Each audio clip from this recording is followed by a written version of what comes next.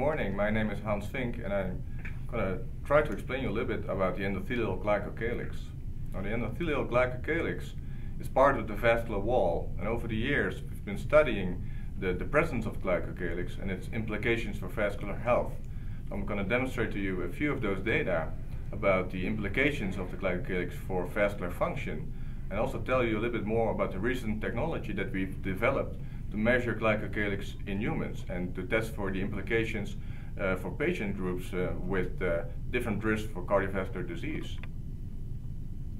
Well, this is a uh, movie of a, high magnification movie of a small blood vessel showing you individual red blood cells flowing through the lumen of this small vessel. On the side you see those black lines uh, demarking the position of the vascular wall. Now if you look uh, closely you see that individual red cells uh, do not touch the vascular wall, and there is some space in between the vascular wall and the flowing red blood cells. Now, for a long time, there was this discussion going on whether this space is just filled with fluid or whether this is secret invisible protective gel in between the vessel wall and the red cells, thereby preventing the red cells from touching the vessel wall and preventing damage. Now, after a few years, we started developing new imaging technologies and showing pictures like these with electron microscopy that that space in between the vessel wall and the red blood cells is actually filled with complex bush-like structures like these that we call the glycocalyx. The glycocalyx is um, produced by the vessel wall themselves and consists out of polysaccharides to which proteins bind and a lot of fluid binds making it a gel. So if you look at the slide you can see that the dimension of the glycocalyx is much larger than the thickness of the wall itself. So it forms a significant compartment shielding the vessel wall from direct contact with the flowing cells and high fat substances in the bloodstream. Now I'm going to show you a few of the consequences uh, what happens when glycocalyx is damaged. Here you see a large vessel and we know in large vessel disease that not all the vessels become diseased but that the disease sites are, are confined to predisposed sites that are more vulnerable than other sites. So on the lower left, you see one of those sites where we typically have lesion development. And we measured the thickness of the glycocalyx at these sites and compared the thickness of glycocalyx at other sites in the same vessel that, that stay healthy over time. And indeed, we confirm, as you can show on the right, the bottom corner, that at those sites with a more vulnerable uh, lesion development, glycocalyx is always much smaller than other sites uh, with a thick glycocalyx. So uh, lesions develop at vascular sites where glycocalyx is uh, less well able to protect the vessel wall against cholesterol. Now here you see what happens if we infuse cholesterol into the bloodstream. So the green uh, dye that you see here is high fat cholesterol injected into the bloodstream um, and the top of the, of the image shows you the lumen where the blood flows, and the bluish dots are the vessel wall. So on the left hand side, you see part of the vessel wall with a thick glycocalyx that protects the vessel wall against leakage of the green dye, the high cholesterol, into the vessel wall. And indeed, you see that the, the cholesterol is confined to the luminal side of the vessel wall and doesn't leak into the vessel. On the right hand side, I show you an image of what happens when you look at the side with a thin glycocalyx.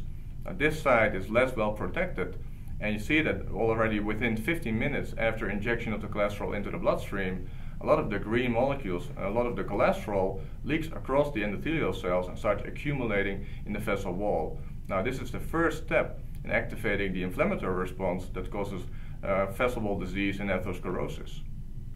Another consequence of uh, damaged glycocalyx is shown here in this video. Here we see a small uh, venule where blood flows um, through the lumen. And to study the effect of uh, glycocalyx on the level of adhesion of inflammatory cells to the vascular wall, we can inject a, um, a, saline solution or a solution containing enzymes to break down glycocalyx and start measuring the level of adhesion of the white, uh, white little particles you see there, which are the leukocytes or the inflammatory cells. Now on the control conditions, as you can see on this image, those little white uh, particles slowly roll over the surface of the vessel wall, patrolling to see if there's an infection. But as long as there's no infection, they do not stick to the vessel wall and they do not start the inflammatory process.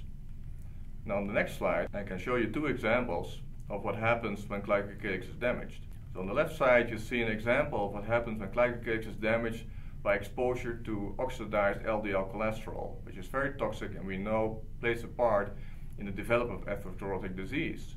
So the blue curve on the left shows you the normal levels of uh, sticking leukocytes, sticking inflammatory cells to the vessel wall. And the normal level is very low because there's no infection and there's no initiation of vascular disease.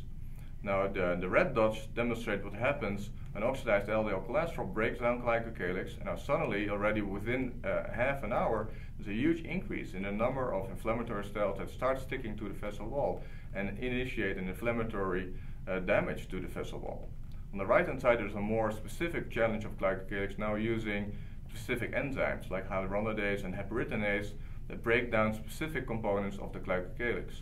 And similarly as shown on the left, after local infusion of the enzyme that breaks down glycocalyx, there's a major increase in the number of adhering leukocytes and sticking inflammatory cells to the vascular wall. Now last example I'm going to show you of the functional consequences of glycocalyx damage is shown in this, uh, this slide.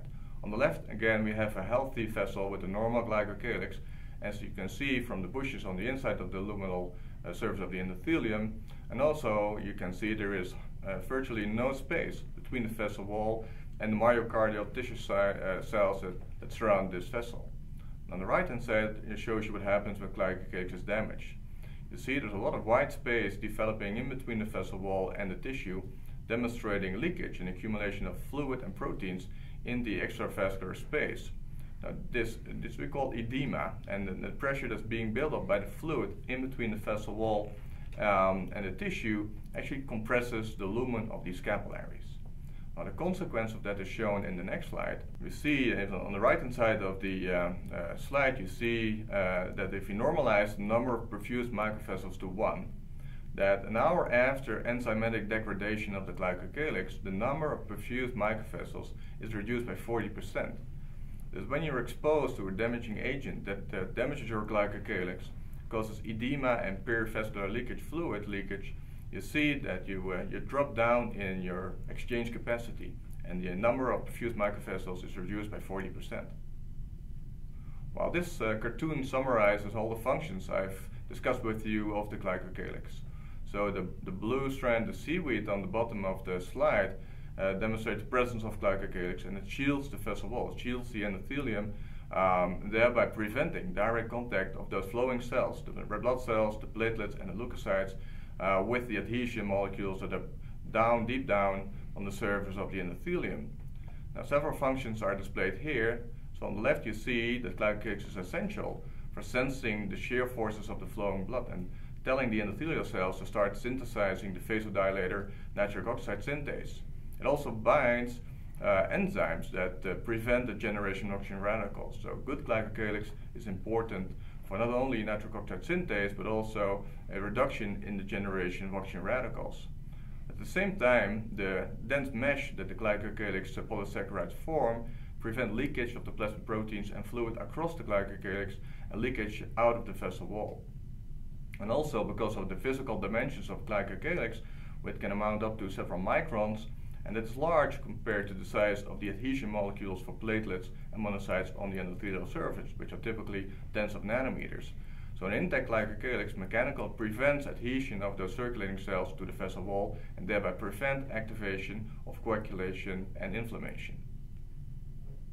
Now this is our nightmare scenario when glycocalyx is severely damaged. You see you have an impairment of nitric oxide synthase, thereby uh, a more vasoconstriction and uh, high pressure development now you see leakage of proteins and fluids causing edema and loss of perfused uh, microvessels and activation of coagulation and inflammation initiating long-term damage to the vessel wall.